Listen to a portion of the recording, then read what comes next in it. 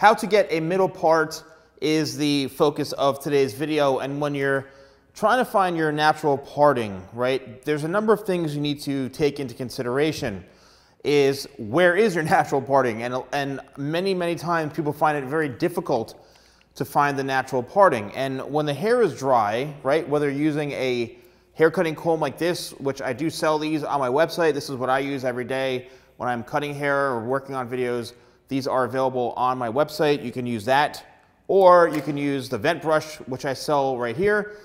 When you're finding your natural part, you have to keep in consideration that that should be the area of hair where, where it separates. What is a parting? A parting is when the hair just separates and it creates this, right? This is a parting right in through here. So, you know, a side part, for example, will go over like this.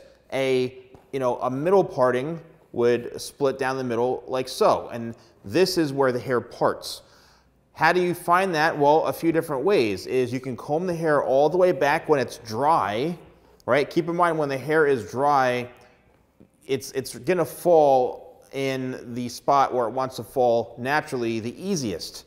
All right, so you bring it all back and you push the hair forward and it's gonna split. You can do it when it's wet too, but it's so simple. You comb back, take the palm of your hand, push forward like this, you're pushing forward, and then the hair is gonna split like that, and then you can go on from there. It's very, very easy. You can even do that with the side parting. If your hair wants to, your hair will basically tell you where it wants to go, right? Which I know it sounds funny, but like when you're combing the hair back, it's going to want to fall in a specific area. Sometimes it may want to have, you know, five or six different natural partings. It all really depends on, here's the next part, is what kind of hairstyle do you want to wear? If you're looking for like a curtains hairstyle and your hair definitely falls in the middle and parts in the middle naturally, then this is the way to go. Very, very simple.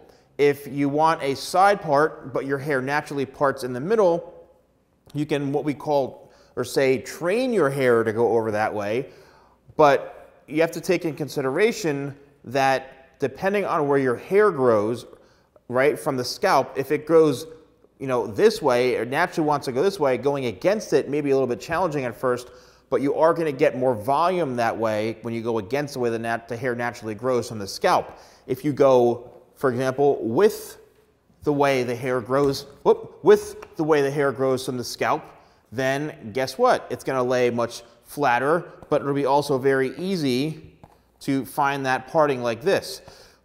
Hair length. Hair length is also very important too. A lot of questions I get is how long does my hair need to be for it to part? Well, everyone has a natural parting. It just depends on the type of look that you want. All right, it depends on the type of hairstyle you're gonna wear. And so if, if you comb your hair back and it's not doing this, well, guess what? It's not long enough keep growing it until it gets to that point where it wants to do this. Now, here's the next way you can go about finding your natural part or your center parting right in through here. And that is by using the hair cutting comb. And you can take the comb right here from the bridge of the nose and go straight up like this, and then go straight back. Use your finger as a guide to separate the hair and comb through it. And I was obviously way off because I'm trying to look into the camera at the same time. So what I'm going to do is I'm going to bring the head back a little bit. All right, now I can see. And I'm going to literally just comb the hair straight back. And we're going to find that natural part or the center part right there, all right? It's like drawing a line all the way back. And you can do that by trying to match it up like this, right, with the comb. That's the best way to try to find your center parting right in here if you want to wear your hair down the middle.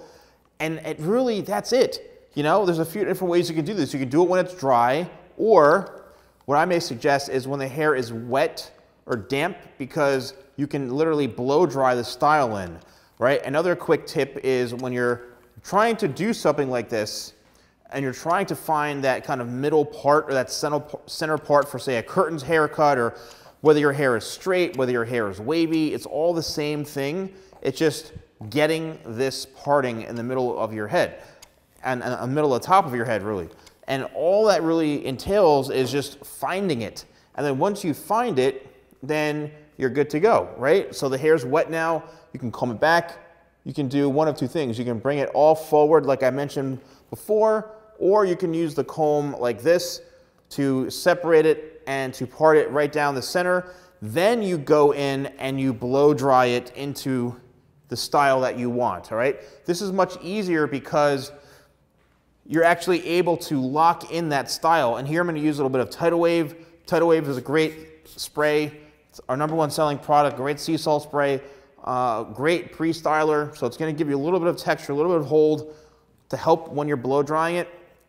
But keep in mind, whether you have straight hair, whether you have curly hair, it's all the same thing about finding that center part right into the middle of your head, right into here. It's, it's all about just finding it and you can also, lastly, you can use your fingers. So if you have really, really kind of you know, textured hair or very curly hair or wavy hair, whatever it is, you can use your fingers and then lightly, again, push forward like this and just separate it like that and create a very loose kind of natural type of center parting like that so it's not so harsh, right? You could just run your fingers through it, scrunch the hair a little bit, right? And then you push forward, there the hair is going to separate. And you could do that anywhere on the top of your head.